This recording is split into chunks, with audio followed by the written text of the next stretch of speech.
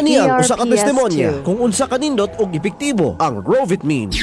Ako si Fe Ogpo, taga Baclayon, Bohol.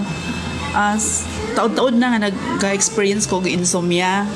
Then naay nag-introduce na ko og Rovitmin capsule dito sa sa among opisina. Then akong PRPS2. gisuwayan nya. Since nga nakainom na jud ko sa Rovitmin capsule, na-improve na ako ang sleeping pattern.